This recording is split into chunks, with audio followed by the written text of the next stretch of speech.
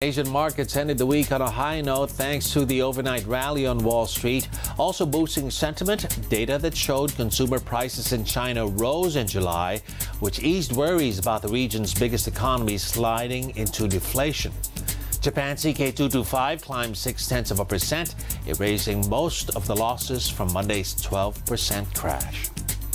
Here at home, the local bourse pulled through a data heavy week of inflation, unemployment, and GDP with a weekly gain of six tenths of a percent.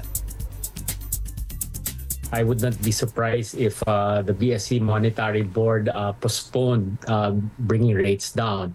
And then inflation numbers came out, it was a little higher. And then, of course, our GDP numbers came out, it was also much better.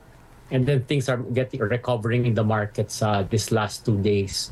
So I guess it's still really a toss up. If the BSP uh, reduces rates next week on the 15th, then yeah, I think it'll be it will not it will be a steady increase already going till the end of the year. Of course, there'll be some jitter still, especially if you know what happens in the Middle East, but generally very positive.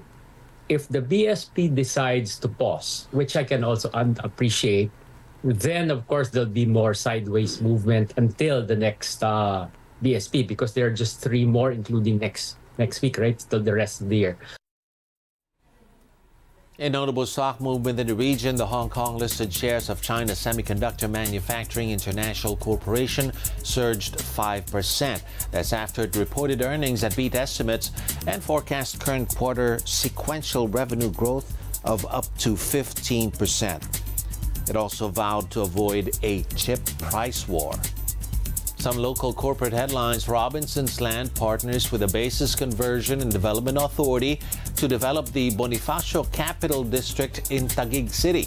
The mixed use destination estate will be set on a 61,000 square meter property next to the new Senate building under construction. The partnership comes as RLC posts a 25% jump in its bottom line to 7.3 billion pesos. Excluding a one-time gain from the reclassification of its GoTyme investment, net income is still up 6%. RLC's investment portfolio bringing in nearly three quarters of its revenue as it saw double-digit growth in the first half. On to the earnings stream. Philippine Airlines posts a bottom line of $122 million in the first half. That's around 30% lower year on year. Flying operations expenses were 13% higher due to higher fuel consumption from the increase in the number of flights operated. CapEx also up to $157 million for aircraft purchases as well as maintenance and cabin upgrades. Meanwhile, Puregold saw its first half profit climb 13% to nearly 5 billion pesos. Lucio Co's grocery retail firm notes higher traffic in Puregold stores and higher ticket size in its S&R warehouse clubs. The chain ended June with over 580 stores nationwide.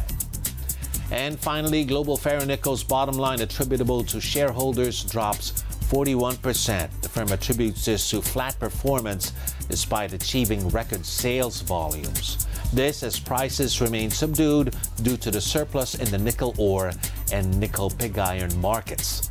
Total sales volume from its Palawan and Surigao sites jumped 45% to a record 2.1 million wet metric tons.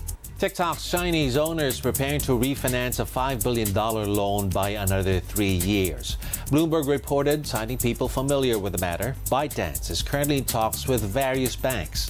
The Chinese firm had secured a $5 billion loan in 2021. Bloomberg is also reporting the TikTok owner is moving to a bigger office in Singapore's financial district, One Raffles Quay. This will allow the world's most richly valued startup to anchor itself in the city state where it plans to invest several billion dollars. Now, this comes amid an aggressive expansion of TikTok's various features.